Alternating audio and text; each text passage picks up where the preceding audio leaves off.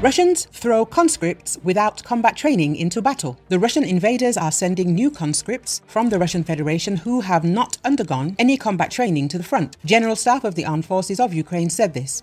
Russian occupation forces continue to send newly conscripted servicemen into combat without private combat training. For example, in the village of Rohov, Luhansk Oblast, about 110 conscripts arrived from the territory of the Russian Federation to the training camp of one of the units of the Russian occupation forces. When they received equipment and weapons, the Russian command informed the newly arrived personnel that they would be included in assault units and sent to the area of combat missions on the contact line in the near future.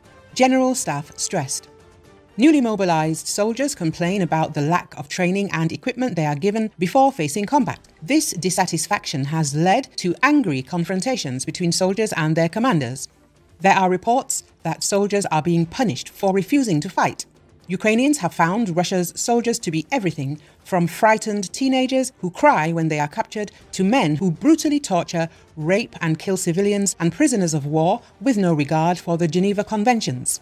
Russia's soldiers have turned out to be very difficult from the formidable fighting force that many expected a year ago. Of course, the quality and quantity of manpower is only one of many factors that will shape the way that Russia continues to wage this war.